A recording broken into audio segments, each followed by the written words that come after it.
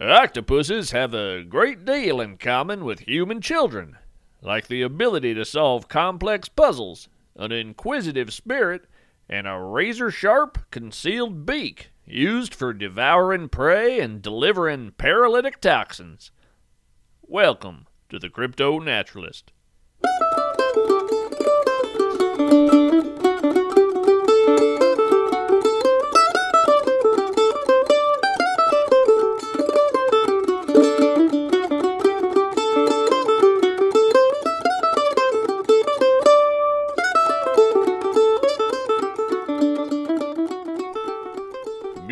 With us.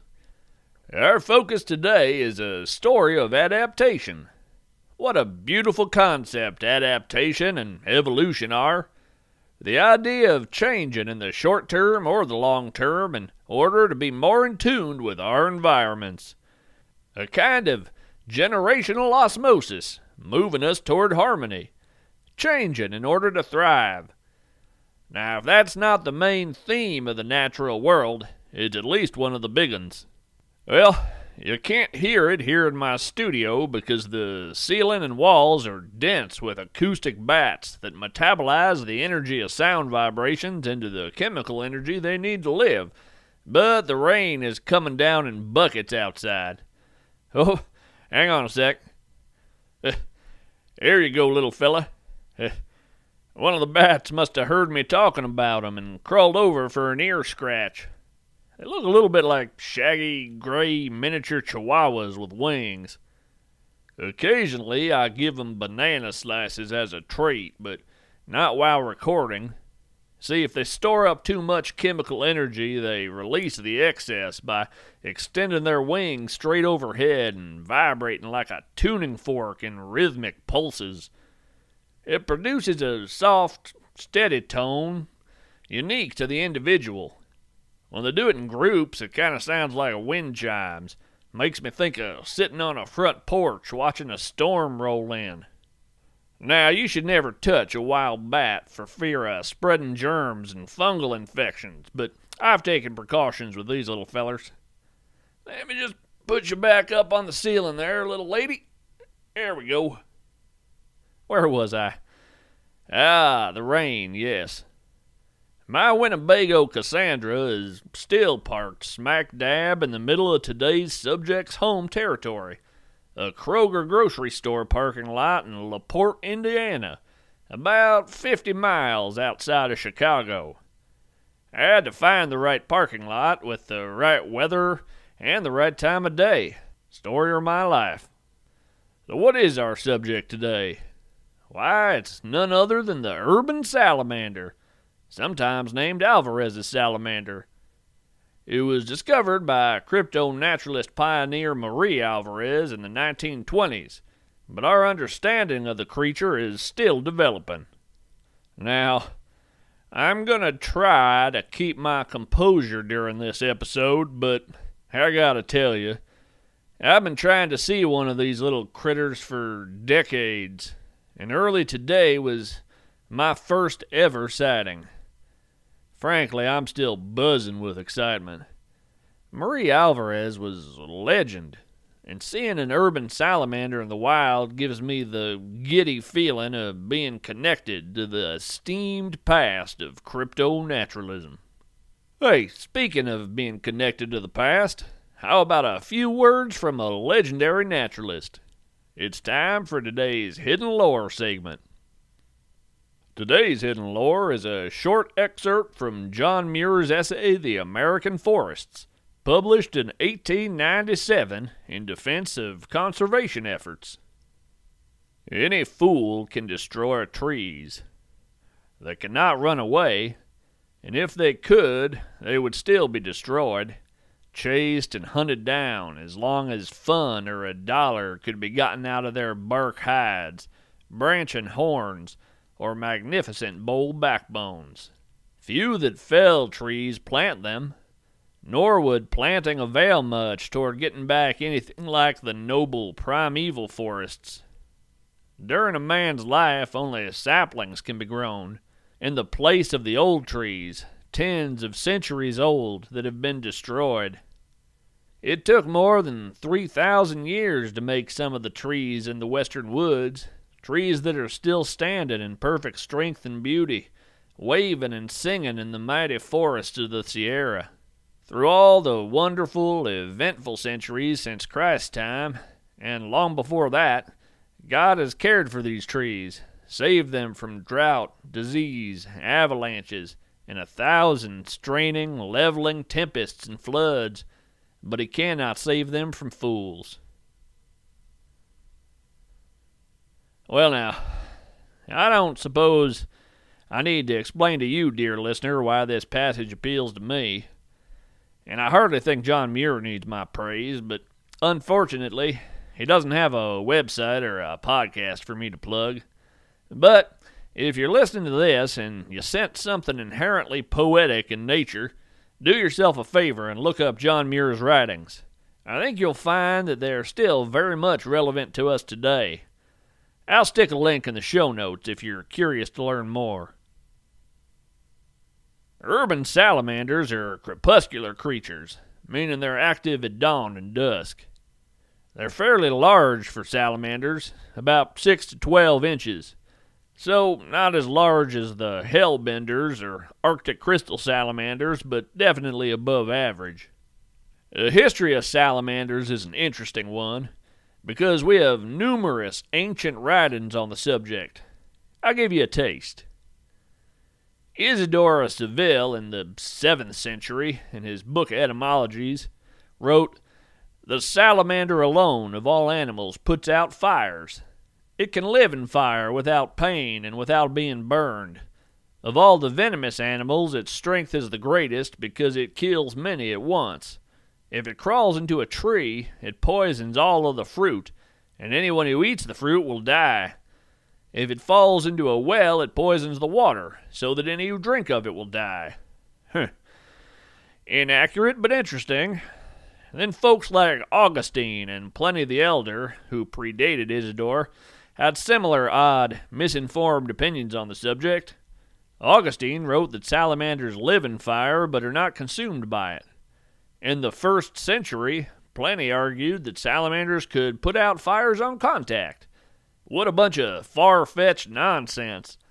I don't believe any salamander can put out fire on contact. Maybe with ice breath or telekinesis, but not simply from contact. Ancient philosophers and naturalists had some strange ideas. But the urban salamander does give us a hint as to why salamanders might have been associated with fire. Most salamanders are gentle, moisture loving amphibians that hunt small invertebrates and want absolutely nothing to do with intense heat. Now, by contrast, the urban salamander relies on intense heat as its primary adaptation to its new chosen habitat, asphalt. Did you know that asphalt is technically a super viscous liquid? It's a fact. It's about two million times more sticky than honey and infinitely worse to spread on toast, but it's a liquid. So, if you consider asphalt to be a thin coating of liquid, mostly made from decomposed organic materials, that's petroleum, spread across the dirt, why, then most urban landscapes are simply very unorthodox swamps.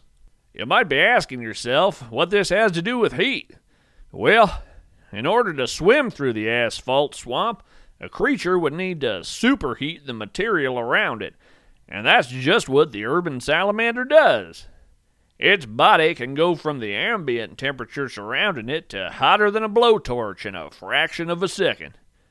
The asphalt becomes superheated, and the urban salamander slides through it slicker than mud. A perfect adaptation to the growing threat of human expansion. I arrived at the Kroger just before sunset, there was a steady drizzle coming down from the nickel colored skies, the perfect weather for finding an urban salamander. See, they're mostly black with a red underbelly, so good luck spotting the little creatures against a backdrop of black asphalt, especially when they can crawl through what might as well be a solid rock to you and me. The key is the rain. When it hits a crawling salamander, there's a hiss and pop of steam like a tiny geyser sprouting from the parking lot.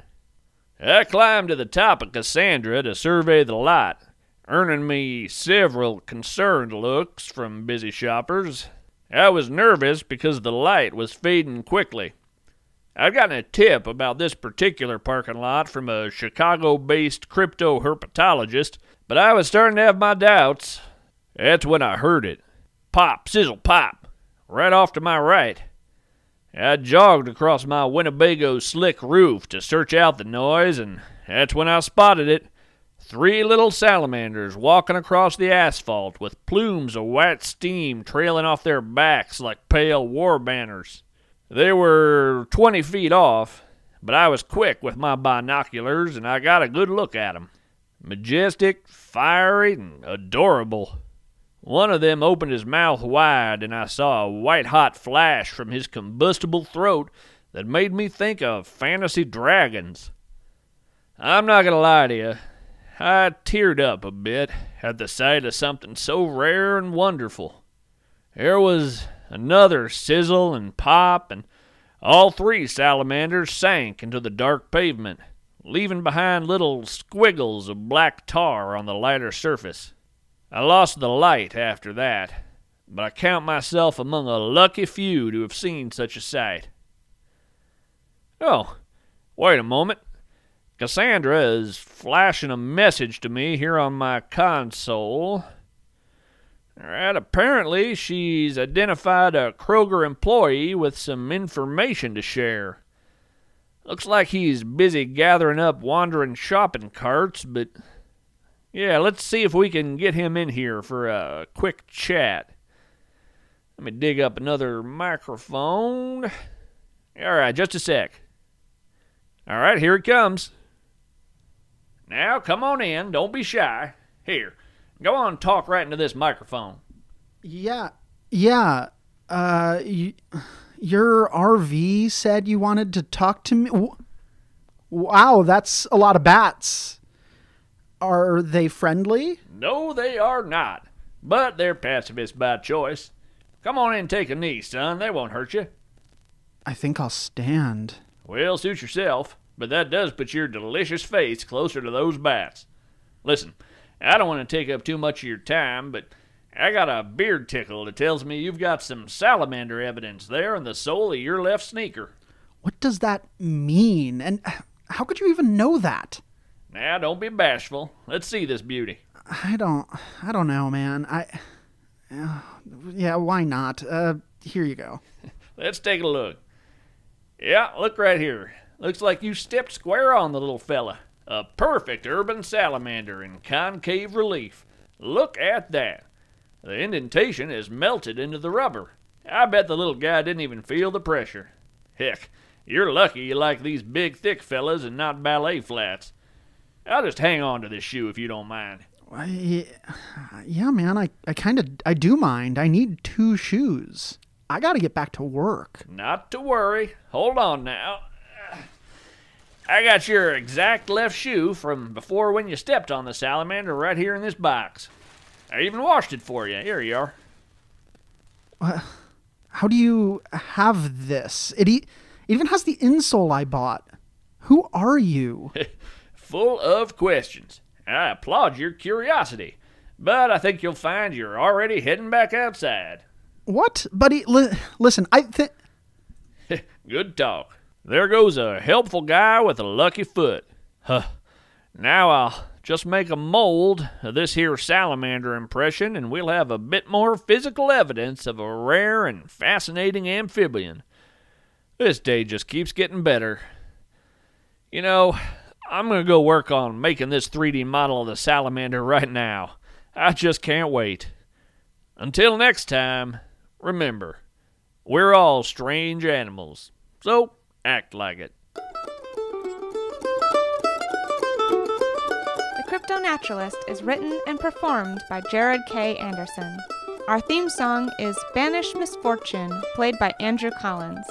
For more information about Andrew's music, visit andrewcollinstrio.com. For information on how to submit poetry or prose for the Hidden Lore segment, visit the About section of CryptoNaturalist.com. Find us on Facebook or on Twitter at CryptoNature, and remember to rate, review, and subscribe. Stay curious, stay wild, stay weird.